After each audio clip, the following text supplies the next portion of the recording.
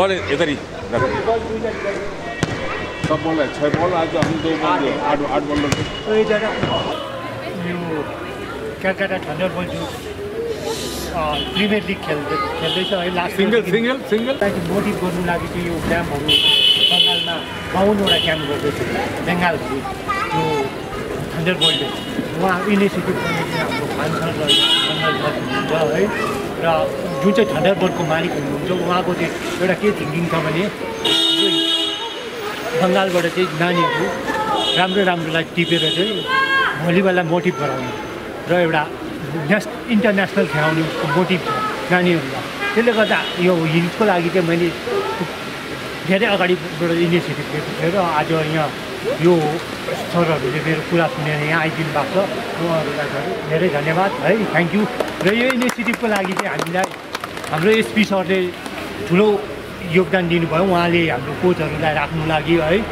र हाम्रो हिलमा स्पोर्ट्स हराएकोले गर्दा चाहिँ हामीले यो इनिसिएटिभ हुनैपर्छ र अरू स्पोर्ट्स पनि हुनैपर्छ भन्ने हाम्रो थिङ्किङ छ। र एसपी सरहरूले यो स्पोर्ट्सलाई धेरै मोटिभ पनि गर्नुहुँदैछ। र उहाँले हाम्रो आइसी साहबले र यहाँ सरहरूले हामीलाई पुरा खानाबाट पुरा सपोर्ट गर्नुहुन्छ है। र आज गएर हामीले एउटा क्याम्प लाउनु सक्यौँ है। उहाँहरूले सघाल्नु भयो र हामीलाई यत्रो ठुलो क्याम्प लाउनुमा धेरै उयो पर्छ र नानीहरूकोबाट हामीले अलिकति सहयोग लिएर कोचहरू ल्याउनु सक्यौँ र यसको लागि हामीले साह्रै धन्यवाद माग्छौँ र कोच दुईजना आउनु भयो थन्डरबर्डबाट उहाँहरूलाई पनि धेरै धन्यवाद। है र यसको लागि आज राखिदिएछ हाम्रो खान सर जुन चाहिँ हेड कोच हुनुहुन्छ उहाँले एक दुई शब्द राखिदिनु Thunderbolt.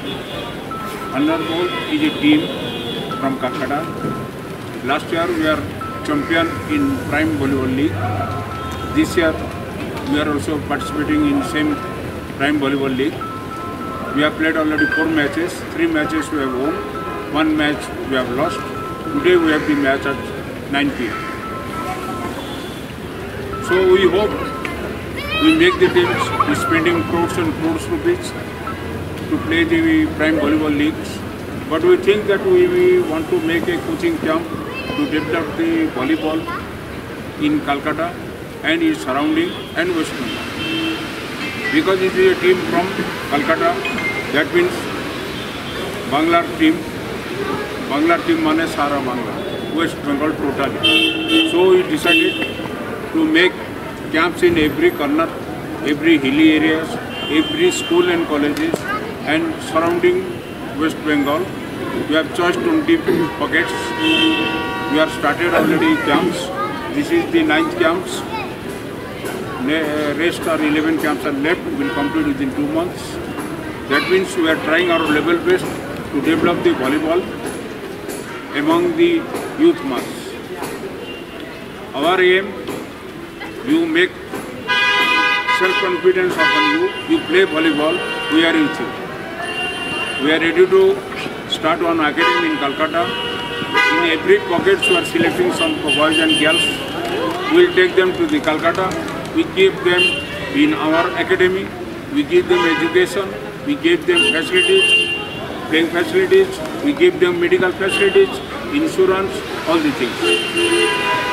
If you go for medicals, if you go for engineering, we are also ready to spare that. But condition is that you will play volleyball. In volleyball, there is a very scope to get the jobs than your education. Because 70 to 80 percent players of the Calcutta base, we have so many offices, so many Indian Railway is there, postal is there, electricity is there, banks are there, so many organizations coming forward to recruit the players. So we hope we are behind you. We means Thunderbolt, Calcutta Thunderbolt, which is popular in whole world. Now what we are doing here, the people of world people, because we will send this photo to Switzerland, that is the World Volleyball Association head office. From there it will spread all over. That means you can see in Instagram and the Facebook. You are not practicing Darjeeling. The world people will know that now the one camp is going on. आजदेखि सुरु भइरहेको यो coaching क्याम्पको श्रेय सबभन्दा पहिला हाम्रो भाइ जावेद जावेद अनि उहाँको क्लब अनि उहाँको एसोसिएसन एसोसिएट्सहरू जो छ उहाँलाई जान्छ कलकत्ताबाट आउनुभएका यहाँ चिफ कोच अन्डर बोर्डको उहाँले भाइ बहिनीहरूलाई सबलाई नै बुझाइदेऊ यो कोचिङ क्याम्पको महत्त्व चाहिँ के छ? यो तिमीहरूले गरेको प्र्याक्टिस यहाँ गरेको क्याम्पमा तिमीहरूले गरेको लगनशीलता यहाँ मात्रै हेरेको हुँदैन। यो वर्ल्ड वाइड हेरिरहेको हुन्छ र तिमीहरूलाई यहाँबाट जुन प्रकारको फेसिलिटी छ आजदेखि तिमीहरू सबै थन्डर बोल्टसँग युक्त भएको कारणले गर्दा थन्डर बोल्टबाट पाउनुपर्ने जुन प्रकारको सहयोगिताहरू छ र फ्युचरमा तिमीहरूको के के स्कोप छ उहाँले अघि नै भन्नुभयो। र यसै कुरालाई म पनि दुई शब्द जोड्दै यो भन्न चाहन्छु कि दार्जिलिङमा गेम्स र स्पोर्ट्सको जुन प्रकारको पहिला क्रेज थियो दार्जिलिङको स्पोर्ट्सम्यानसिप थियो कुनै कारणवश त्यो स्तर अति नै घटेर गएको यो हामी सबैले महसुस गरेको छौँ। र यसैलाई प्रोत्साहन गर्नुको लागि दार्जिलिङ पुलिसले हाम्रो दार्जिलिङको फिलहाल एसपी साहेब र उहाँको हाम्रो सम्पूर्ण टिमले सब समय नै लागि परेको छ र हाम्रो युथहरूलाई यो गेम्स र स्पोर्ट्समा अझ कसरी उन्नतिमा ल्याउनु पर्ने। त्यो कुरामा हामीले सधैँ नै जोड दिइ नै रहेको छौँ र धेरै प्रकारको टुर्नामेन्टहरू हामीले यहाँ दार्जिलिङमा अर्गनाइज गर्नु सकेको छौँ। यो सबै हाम्रो दार्जिलिङका जनसाधारणहरूको सहयोगिताले भएको हो र हामी भाइ बहिनीहरूलाई पनि यही प्रोत्साहन गर्छौँ कि खेलेर आफ्नो शरीरलाई मात्रै स्वस्थ राख्नु मात्रै नभएर आफ्नो मानसिकता पनि यसले ब्यालेन्समा ल्याउँछ। फिजिकल फिटनेस त छँदैछ। त्यो त हुनु अति नै आवश्यकता छ फ्युचरको लागि। किनभने अहिले हामीले जुन प्रकारले हेरिरहेको देखिरहेको छौँ हाम्रो युथहरू होस् या यङ नानीहरू होस् टिनेजरहरू म्याक्सिमम् यस्तो फिल्ड गेमहरू भन्दाखेरि आफै इन्डोरमा बसेर भिडियो गेम र अनलाइन गेम त्यसमा नै व्यस्त भएको छ।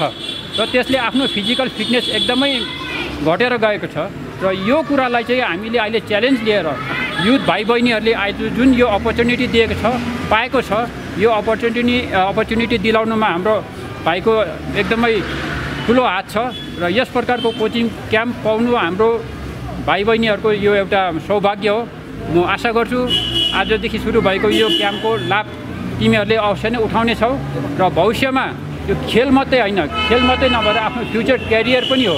यो पनि तिमीहरूले ध्यानमा राखेर उहाँले भन्नु नै भयो विभिन्न प्रकारको इन्स्टिट्युटमा अर्गनाइजेसनमा डिपार्टमेन्टमा खेलेर धेरै नोकरीको सुविधा पाइन्छ। आजकल जुन कम्पिटिटिभ टाइम छ पढेर तिमी किताब पढेर त्यो साधारण ज्ञानले मात्रै नभएर आफ्नो एक्स्ट्रा क्यालिकुलर हुनु अति नै आवश्यकता छ। र तिमीहरू जुन फिल्डमा छौ यसलाई अझ राम्रो गर्ने आफ्नो उन्नति गर्ने र सबैलाई मेरो तर्फबाट बेस्ट विजेस र तिमीहरूको सक्सेसको म कामना गर्दछु। र सबैलाई मेरो तर्फबाट धन्यवाद। अर्गनाइजिङ कमिटी अनि कलकत्ताबाट आउनुभएका कोचहरूलाई पनि म धेरै धेरै धन्यवाद दिँदै मेरो छोटो वक्तव्य यहीँ शेष गर्छु। हाम्रो डिएस सरले डिएसडिआइबी सरले भनिहाल्नुभयो सबैलाई धेरै धेरै बधाई। आजको यस सुरु भएको कोचिङ क्याम्पमा तपाईँहरू भाग लिनु हुँदैछ होइन? एउटा भलिबल हाम्रो यहाँ पहिला धेरै क्रेज थियो। सरहरू पनि पहिला भलिबलै खेल्नुहुन्थ्यो। र यसको स्तर धेरै नै घटेर गएको छ। हालैमा दार्जिलिङ पुलिसले एउटा भलिबल टुर्नामेन्ट पनि यहाँनिर अर्गनाइज गरेको थियो। त्यसमा धेरै प्रतिभाशाली खेलाडीहरू हामी प्लेन्सबाट साथै हाम्रो हिल्सबाट हामी देख्न पायौँ र तर हामीले त्यो खेलमा के देख्यौँ भन्दाखेरि प्रायः जस्तो हामीले टिमहरूले बाहिरबाट बरो गरेर लिएर आएको प्लेयरहरू पनि हामीले देख्नु पायौँ। हाम्रो यहाँको प्रतिभालाई हामीले बढाउन कोसिस गर्ने दार्जिलिङ पुलिसको सधैँ नै एउटा प्रयास रहेको छ। एसपी सरको एउटा खेलकुदमा दार्जिलिङलाई अगाडि बढाउने अगाडि लिएर जाने एउटा उद्योग उनीहरूको उहाँको सधैँ नै रहेको छ। र म यहाँ आजको अर्गनाइजिङ कमिटी हाम्रो अ, जाइकज्यूलाई साथै हाम्रो कोचेसहरूलाई म धेरै धेरै धन्यवाद दिन चाहन्छु र प्लस सबै स्टुडेन्ट्सहरूलाई आजको यस कोचिङ क्लास र यो सुरु हुनेमा तपाईँहरूले केही राम्रो ज्ञान दर्शन गर्नुहुन्छ होला र यसलाई अगाडि लगेर जानुहुन्छ होला। तपाईँको गाउँ बस्तीमा अरूको खेलाडीहरू छ उनीहरूलाई पनि प्रोत्साहन गर्नुहुन्छ होला भनेर म आशा गर्दछु र सबैलाई बेस्ट विशेष क्याम्पको लागि जुन चाहिँ थन्डर अहिले प्रिमियर लिग हुँदैछ। जुन चाहिँ भलिबल लास्ट इयरदेखि जुन चाहिँ हाम्रो इन्डियामा भलिबललाई इम्प्रुभ गर्नु लागि एउटा प्रिमियर लिग गर्दैछ जस्तो क्रिकेटमा हुन्छ है फुटबलमा हुँदैछ। र लास्ट इयरदेखि एउटा यो भलिबलको लागि पनि प्रिमियर लिग हुन थाल्यो। र त्यसमा चाहिँ हाम्रो कलकत्तामा पनि एउटा एउटा के पाण्ड्या भन्ने उहाँ रुपी रुपियाँको मालिक हुनुहुन्छ। उहाँले पनि यो एउटा क्लब किन्न यो थन्डर बोल भनेर खोल्नु भएको छ कलकत्तामा र उहाँले पनि त्यो क्लबलाई चाहिँ यो थन्डर बोल भनेर चाहिँ उहाँले इन्प्रु सपोर्ट गरेर चाहिँ यो क्लब जस्तो प्रिमियर लिगमा अरू जस्तो उहाँले किनेर चाहिँ यो गर्नुहुँदैछ। र उहाँले चाहिँ अब यो लास्ट इयर चाहिँ कलकत्ता थन्डर बोल्टले जित्यो यो प्रिमियर लिग है। योपालि चाहिँ सेकेन्डमा छ है। र आज राति पनि फेरि उहाँको म्याच छ है कलकत्ता थन्डर बोल्टको है। र यो यो ग्राउन्डमै खेलेर गएको तपाईँहरूले देख्नु पनि भयो होला। दुई वर्ष अगाडि जुन चाहिँ असफल राई है यो ग्राउन्डमा खेलेको उहाँ हाम्रो थन्डर बोल्टको क्याप्टन हुनुहुन्छ कलकत्ता थन्डर बोल्टको र जुन चाहिँ यसको मोटिभ छ यो क्याम्प यो भलिबल क्याम्पको लागि चाहिँ र अब चाहिँ भलिबल चाहिँ अलिकति इम्प्रुभ गर्नु लागि चाहिँ बहुत ट्राई गर्दैछ यो बङ्गालमा क्या? अन्त त्यसले गर्दा चाहिँ अब भलिबल चाहिँ एउटा राम्रो होस् भन्ने चाहना सबैको छ र यो हिल्समा चाहिँ पहिला भलिबल एकदमै राम्रो हुन्थ्यो। पहिला हामीले पनि सुनेर गयौँ हामीहरू पनि त्यसमा खेलेर गयौँ है। यो जिडिएनएस ग्राउन्डलाई भलिबल ग्राउन्ड भनेर चिनिन्थ्यो पहिला। र यहाँ ठुल्ठुलो प्लेयरहरू पनि आउनुभयो खेल्नुभयो है। र आज गएर यो भलिबल एकदमै खतम भएर जाँदा चाहिँ हामीले इनिसिएटिभ होइन भलिबल फेरि जन्मिनुपर्छ दार्जिलिङको हिल्समा भनेर चाहिँ हामीले फेरि रिभाइभ गर्नु लागि चाहिँ एउटा क्याम्प लाउनु यो इनिसिएटिभ गरेको र हामीले त्यो थन्डर हाम्रो थन्डर सिक क्लब भनेर गर्थ्यौँ र यस्तै हामीले त्यो कलकत्ताको यो कोचहरूसँग एउटा कन्सल्ट गरेर मेरो साथीहरू कलकत्तामा अहिले कोचिङ गर्नुहुन्छ पुलिसमा तिनीहरूलाई भनेर उहाँहरूसँग एउटा मिटिङ बसेर यो हामीले ट्रेनिङको लागि हाम्रो नानीहरू चान्स पाओस् भन्ने हाम्रो सोच छ। कति दिनको ट्रेनिङ यो पाँच दिनमा है योपालि चाहिँ पाँच दिनको गरेको छौँ। अलिकति ढिलो भयो। हामीले अलिक छिटै गर्नेवाला थियौँ। र यो अझै पछि फेरि हामीहरू अलिक पछि फेरि गर्छौँ। उहाँसँग सल्लाह गर्दैछौँ गर्नेवाला छौँ।